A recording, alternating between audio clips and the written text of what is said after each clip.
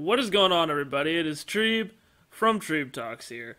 And boy, oh boy, does it feel good to have football back, and does it feel good to have a victory Monday. The Jacksonville Jaguars ended their season last year with a victory over the Indianapolis Colts, and they started the 2020 campaign with a victory over the Indianapolis Colts. And I let, I wouldn't say you guys, I would say the YouTube fan base, for the most part, has been very optimistic. You guys, you know, left comments in my preview video saying, Treeb, you just got to believe, you know, there's there's still some positive things about this team that you have to think about. And there's still some promising future. There's still some people on this team with a promising future. And, you know, Gardner Minshew does not want to lose. So you just got to believe, you know, this is a team that can still win football games. And, you know, I let kind of the pessimistic side of Twitter and Facebook, you know, kind of just get to me and really ruin my thoughts on what this football team could really, really be. But I really should have listened to you guys, and I will eat the crow on that, and I will gladly, anytime I think the Jaguars are going to lose and they win, I will gladly eat that crow 10 times out of 10. The Jaguars played phenomenal phenomenal football, and we're going to talk about the ins, the outs, the good, the bad, the ugly, in this recap, we are back with a Jaguars recap, position grade, and players of the week. It's been too long, and I'm glad we are back on the grind. So, without further ado, ladies and gentlemen, this is the Jacksonville Jaguars versus Indianapolis Colts, week number one recap, position grades, and players of the week. Let's start things off with talking about the offense, like we always do in these videos, and let's start off with talking about the leader of the offense, quarterback Gardner Minshew. And what a game did Gardner Minshew have? You know, you see the memes out there about the Jaguars tanking for Trevor Lawrence and you know the uh, Michael Jordan documentary where he has a cigar in his hand and he says at that point it was personal for me. I seen one where you know they had that and they put Gardner Minshew's face on it and it said when they started talking about tanking for Trevor it was personal for me and you really got to you know that's about the most accurate thing I have seen on the internet about this Jacksonville Jaguar team taken for Trevor. Boy, oh boy, does Gardner Minshew look like a franchise quarterback. You can read any of my tweets. You can, you know, go back and see anything that I have said. This is Gardner Minshew's team, and Gardner Minshew is the face of the Jacksonville Jaguar franchise. And, you know, like I said in my season preview, and like I said, you know, when the Jaguars traded away Leonard Fournette, you know, the Jags can tank all they want, but Gardner Minshew is not going to let you like lose enough games to the point where you're going to get that number 1 overall pick, you're going to get the second overall pick and you're going to have to take a quarterback because Gardner Minshew does not lose games. You know, the reason that the Jaguars are going to lose games is not going to be because of Gardner Minshew. Gardner Minshew is going to play damn near perfect football every single time he steps on that field, and he's going to make sure that the Jaguars are in the perfect position to win football games, and that is exactly what he did in this game.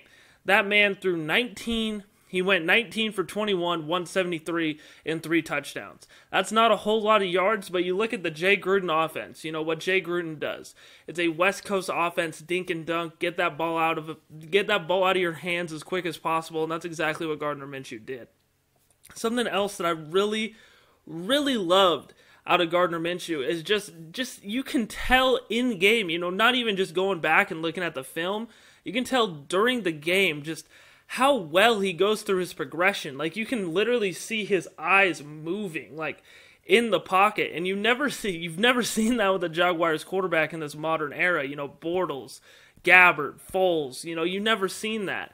And then, you know, to see you know, this quarterback really kind of go through his progression, take the open man, and, you know, 19 times out of 20, it's the best case scenario. I mean, the one drop was to Viska Shenault, and you know, it was in a it was in a heavy traffic area in Viska. It was in his hands. You know, he still could have caught that pass, but unfortunately, he dropped it. So I mean, Gardner, for all you know, argumentative purposes, could have gone 20 for 20. Like he could have completed every single pass. Gardner Minshew is also now the first quarterback in NFL history to complete 95% of his passes and throw three touchdowns. Like, this is a guy that is your franchise quarterback that will win you games and clearly believes, and, and I mean, clearly a guy that this team believes in.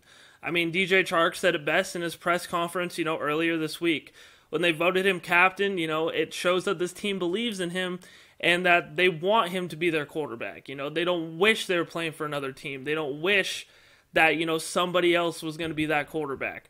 Gardner Minshew is the Jacksonville Jaguar quarterback. And, you know, like I said, you know, he's building tremendous, tremendous chemistry with all of these guys. He completed a pass to, let's see now, one, two, three, four, five, six, seven, eight, nine, ten. Out of his 19 completions, he threw it to 10 different targets. Uh, this is a guy that has built chemistry with every single pass catcher on his on his football team. And when you got a guy like that that can build that kind of chemistry with everybody on the roster, you have a quarterback that can lead you. I got into a conversation with a guy at my work who is also a Jaguars fan, and he said, you know, this could be almost like, you know, kind of a Patriots situation, a Tom Brady situation. You know, we don't, they don't necessarily have all these big names, but if you maybe throw Gardner Minshew in a situation where you have guys that kind of fit his skill set, fit the scheme that the team is trying to run, and Gardner Minshew, man, could probably be like a top 10, top 15 quarterback in the NFL, be really, really successful. And I'm starting to really believe that, especially with how some of these wide receivers played. And, you know, we'll dive more into that when we talk about those wide receivers and we uh, grade those wide receivers. But as far as the quarterbacks go, I mean, as far as Gardner Minshew goes, you know, not the quarterbacks, because, you know, Gardner Minshew is really the only guy that uh, I was the only guy to throw the ball, you know, and he did well, you know, when he had to escape the pocket and run the ball, had five rushes for 19 yards. Um, he did his thing, and Gardner Minshew is going to get an A plus on the day. I mean, there's literally nothing else you can do. Like that is an A plus game for a quarterback. And in the three years now that I've been doing recaps, position grades, and all that, I don't think any quarterback has ever gotten an A plus from me. And Gardner Minshew is the first one to do it, and I think Gardner Minshew definitely, definitely deserves that A plus. Now talking about the running backs and James Robinson, man, like I think this is the guy that every Jags fan was the most excited to see, at least on the offensive side of the ball to start the season, because, you know, we really didn't know what we were going to get out of him. I mean, they waived Leonard Fournette. That was supposed to be the dagger in the Jaguars season. Why the hell they do that? And, you know, Ryquell Armstead's on the COVID 19 list. And, they, you know, then they thought, you know, Chris Thompson was going to be in there, which, by the way, when Chris Thompson was in there, I was not. I was not peaked. You know, I was not peaked whatsoever by Chris Thompson. You know, I think some of the sacks that uh, were given up on the uh, in this game, I think were Chris Thompson's fault. I think uh, you know the pass protection was pretty good. You know, again, we'll talk about that more with the offensive line, but Chris Thompson, I think, in the three sacks that the offensive line gave up, I, he was responsible for two of them. I think so. I was not I was not excited for Chris Thompson, so I'm glad James Robinson came in. But what a debut for James Robinson! I mean, you know, coming into the game right off the bat in the first half, he had a tremendous first half. I mean, big runs, found the hole, accelerated through the hole. I mean, you did not see that kind of shit with Leonard Fournette. You know, Leonard Fournette ran into the back alignment, ran into the back alignment, never got really any big gains. But, you know, James Robinson was a breath of fresh air, really, you know, was a change of pace from what Jaguar fans are used to seeing at the running back position. So that was a real, real fun time seeing James Robinson carry the ball. He ended the day with 16 carries for 62 yards, didn't break the plane. He only had a 3.9 yard average. I think in the second half, the uh, Colts kind of started to figure out James Robinson. I think that's going to be kind of a common trend as the season develops. I think more teams are going to, you know, game plan for Robinson and kind of figure him out a little bit more throughout the season. But that just means, you know, Robinson's going to have to keep improving and keep developing his game because, you know, in the second half again, he didn't do too much except for that big hurdle play, which again, you know, that's a huge play. And props to James Robinson. I think, you know, obviously that was a big play got the Jaguars to the uh, uh, touchdown pass from Gardner Minshew to Keelan Cole, which was huge. So you know, I'm not taking I'm not taking anything away from that big play, but I think in the second half, you know, the Colts really kind of started to crack down on Robinson and really kind of figured out what he was about and kind of figured out his game. So I think James Robinson had a really impressive debut. I'm not going to give him an A plus or really even an A. I'm going to give him a B plus. I think that, uh, like I said in the opening couple series, he was really fun to watch. But uh, hopefully, he can kind of keep that momentum up, keep that thing going strong, and you know make sure that he is you know, a dynamic playmaker for the Jacksonville Jaguars, and he can continue to be somebody that this team can rely on heavy into the future. Now let's talk about the offensive line and the offensive line, man. This was a a group that I think personally I was really skeptical about. I was very, very skeptical. Oh, by the way, going back to the running backs too, Laviska Shenault. Um, you know, Chris Thompson didn't even get any carries. Laviska Shenault got two carries there too. So uh, Viska got a, you know, got some clout in the running game as well. But the offensive line, man, they did great. I thought they did really, really well. I mean, obviously, you know, gave up two, three sacks, but uh, you know, I think one of them, you know, like I said, a couple of them, I thought Chris Thompson could have helped better. You know, in the you know, at least dipping in a shoulder into a guy, you know, or doing something. But, you know, I think in two of them, I think Gardner Minshew kind of held onto the ball too long. But, you know, you kind of almost want that more from Minshew, you know, other than throwing a costly interception or something like that. But, you know, I think a lot of what the offensive linemen showed me was, you know, that they're improving and that they're doing good things. I mean, there wasn't I don't think that there was a single holding penalty. Like, I mean, I know that Brandon Linder on a big James Robinson run, you know, got that illegal hands to the face, and you know that ne- neglected that big run. But other than that, I mean, the offensive line kind of held their own. They did their thing. They opened up run lanes for James Robinson. They gave Minshew enough time to, you know, survey and. Like I said, you know, having a quarterback back there that has a high football IQ and really knows what he's doing back there, you know, is going to help this offensive line tremendously. But this is a group that I think, again, you know, shocked a lot of people and really played well and uh, played higher than expectations, you know, that were set for them. So this offensive line is going to get a B on the day. You know, again, they need to limit their sacks, obviously, but I mean, you can't ask for a completely perfect game. You know, you're not going to be the Colts offensive line every single time. It's just not going to happen. So um, the offensive line is going to get a B on the day. Hopefully, they continue that momentum and, you know, just stay healthy. You know, just keep doing the damn thing. And finally, we're going to close off with these wide receivers, man. And they got open, they did their thing. And one guy I really want to, well, t- two guys, two guys I really want to highlight, and that is Viska Shenault and Keelan Cole. Viska Shenault, I think, is going to be, you know, exactly what we kind of planned him to be. A very, very dynamic player in the offense. You know, he lined up as a wildcat quarterback. Um, he ran the ball a couple of times, and you know he caught a touchdown pass as a wide receiver, obviously. And early on in the game, on his first reception, you know it took like the whole defense to really kind of wrap him up and make sure he didn't do anything explosive. But I'm very, very excited for him and very excited to see what he can do. And this whole core as a whole, man, it's it's good. It's a great group. Like it's exactly what I said, you know, with Jason and Jaguars United. And I know too, this video I think is going to go out before their live stream. So make sure if you're watching this video right now and you intend on going to the Jaguars United live stream, make sure you flood the chat with Tree was right. Just hashtag Tree was right in the live stream. Jason will know what you're talking about because these wide receivers are deep, they're talented, and it's going to give Gardner Minshew loads of success.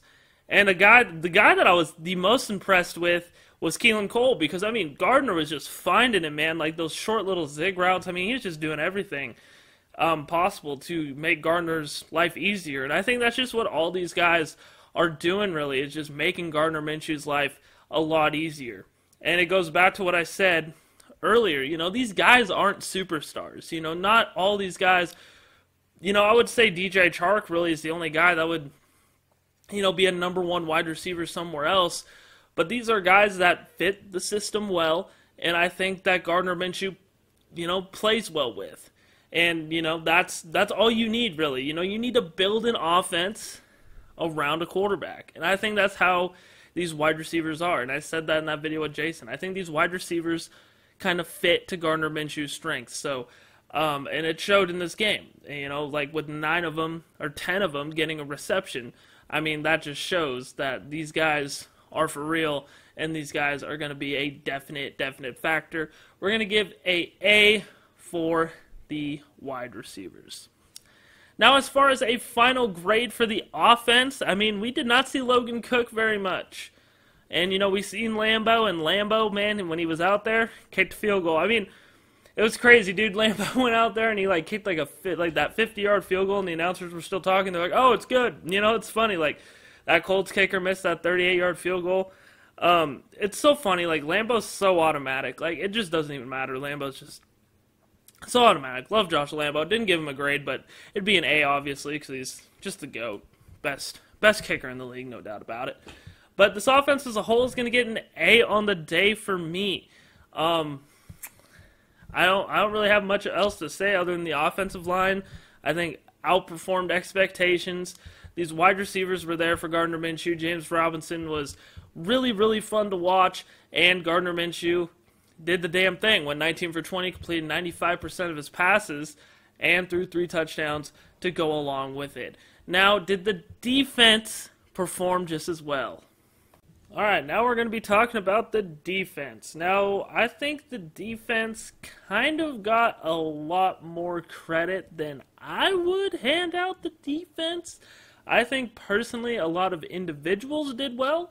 I think that um, more individuals games stuck out than you know like a whole group. That's why i think um, the group grades are going to be a lot lower than what you may expect.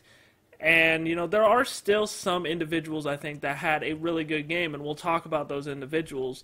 But as far as the whole defense goes man i mean you gotta you, you, you can't overlook like i mean i think the run defense is something that we can all agree as a whole did phenomenal. I think our run defense played way, way better from a season ago, and I hope that momentum carries over to next week because obviously, you know, the Colts have a mix of Hines, Mack, Taylor.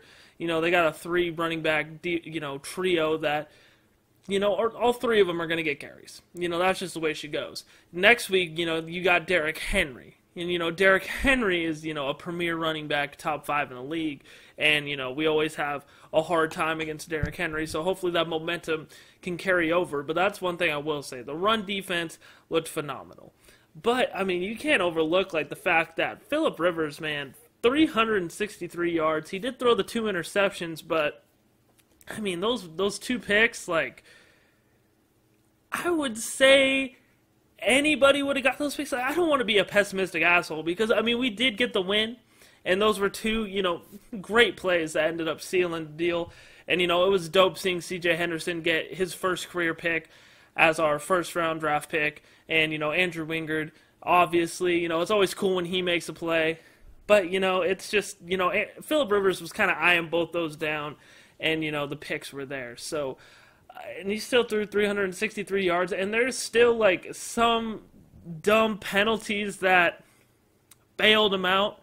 I mean, there uh, the roughing the passer called Dawuane Smoot when the Colts ran to the line and they weren't going to run a play, but Philip Rivers still got Smoot to jump off sides. I mean, that whole eight minute drive, there was I think two pass interference calls and a holding call. I mean, DJ Hayden too. DJ Hayden and Dawuane Smoot got ate up by defensive penalties. Early in the game, I mean, there were like no penalties, and I think the announcers in the game even said that, and I said it too when I was watching it. You know that there weren't a whole lot of penalties, and then just right after that, there's just a ton of them, and you know most of them came on our defensive side of the ball. But overall, I'd say the the run defense played really well, but you know there's still some kinks to be worked out on the defensive side of the ball. For example, like letting one type of play or one exactly same play kill us every single time. Like the screens, bro, like I get the Colts are just behemoths on the offensive line. I get it. But when they run like a screen every time and they're still getting 20, 30 yards out of it every single freaking time, bro, like you you can't let that happen. Like we got to we got to be better than that.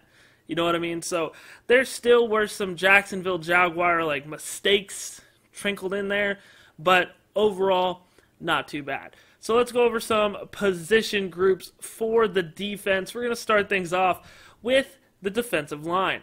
Um, against the run, they did pretty well. Abry Jones really stuck out to me. Obviously, on that fourth down stop, you know, Abry Jones was, you know, credited with that. And I think him and uh, Taven Bryan as well I thought played well. DaVon Hamilton too. DaVon Hamilton, you know, plugged up the middle very well.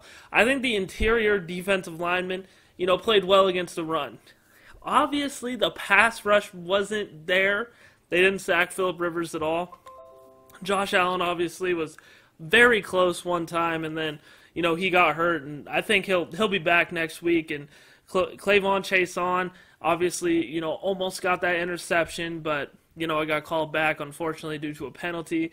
Um, I didn't see too much from him, and you know, the defensive line I think did well against the run, but I mean, you gotta you gotta put pressure on the quarterback, and I think that's why Philip Rivers you know, did so well. Obviously, I think the defensive scheme wasn't the greatest. You know, the Jags are still playing under Todd Wash, and it still it still looks like a high school defensive system to me, where like if you give a quarterback, it's exact, it's almost exactly what I said in the preview, and Philip Rivers kind of had it and did it.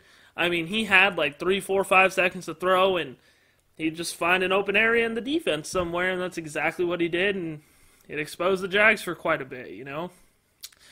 And and that's like that's all I did. And, and you know, you're not going to be able to really do anything like that unless you know you cause a pass rush. But again, they did pretty all right against the run, so I'm going to give the defensive line a C.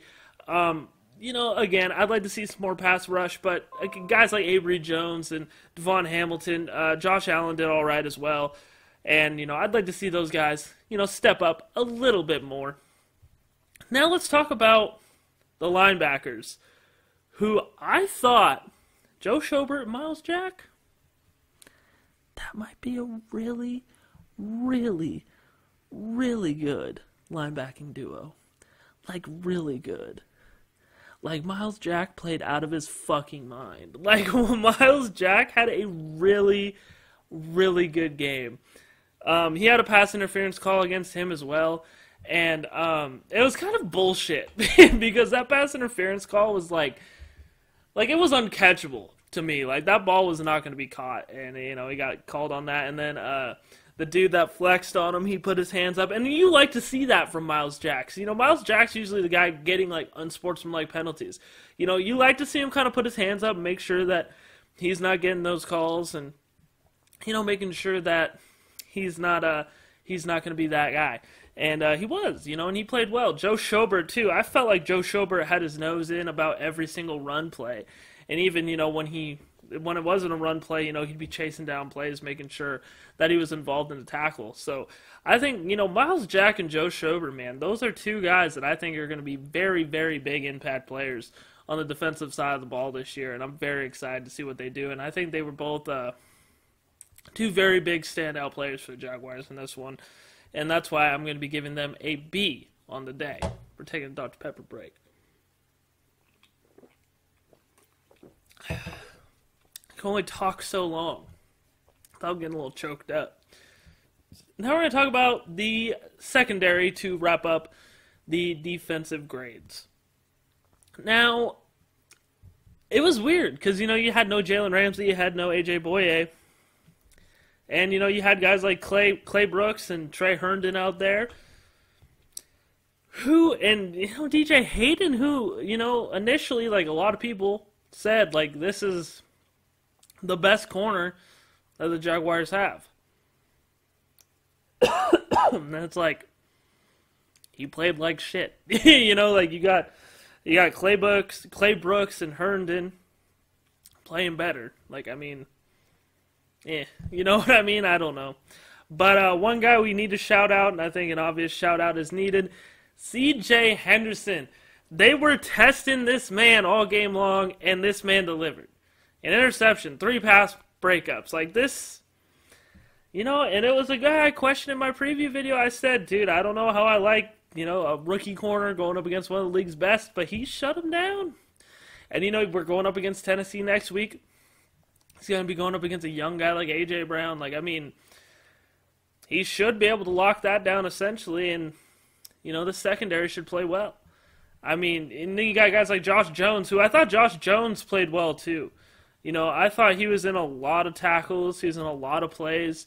Uh, Jarrod Wilson played all right. I think he did. Uh, he was more of a special team. He did more on special teams, I think, than uh, than in the secondary. But I'm really, really impressed with C.J. Henderson and uh, what he did for this defense. You know, I'm blown away. I think you know between him, Myles Jack, and uh, Joe Schobert, it's gonna be it's gonna be very very hard to give out a player of the week out of those three. um, for the defense because I really think all three of those guys had tremendous, tremendous weeks. But the secondary as a whole, again, Philip Rivers, you know, he did throw all those yards, but I think a lot of it lack of a pass rush. Um, and yeah, I mean they did get two picks essentially, but I'm gonna be giving them a B minus just because I think C.J. Henderson really kind of levitated that game. As far as the defensive line, I mean, Abry Jones played well against the run, but I don't think it was well enough to kind of boost their grade up from a C. So, um, yeah, we're gonna give them a B minus on the day. C.J. Henderson balled out, played really well for this young and experienced. Now, time for the defense's overall grade. I'm to be giving this defense a B minus on the day. The linebackers, C.J. Henderson, the secondary, and if we can get a pass rush too, I think this defense is going to be all right. Dare I say? I mean, it's not Sacksonville. It's far from it, but I mean, it's average. you know what I mean? Like it's not, it's not a, it's not a defense that uh is really insane. But I mean, you got you got some guys on there, man. Like now, now that the season's going on, I mean, I'm really hopping on the bandwagon of some guys like C.J. Henderson, man, Joe Schobert, Myles Jack, like you know, Josh Allen, man. I'm really Abry Jones too. I think Abry Jones is a leader. Like I, Josh Jones too. I'm a little, I'm a little excited to see how he develops a little bit. So we're gonna be giving them, you know, a B minus on the day and hopefully this defense continues to develop, and I'm very, very excited for that. And finally, my favorite time of the week, your favorite time of the week, and your mom's favorite time of the week, player of the week and on offense. I think there's no doubt about it.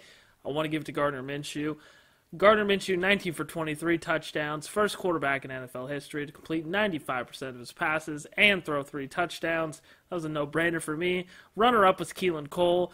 Um, Keelan Cole, man, I mean, James Robinson, too. I mean, it's a little bit of a thought, but Keelan Cole, bro, that's impressive.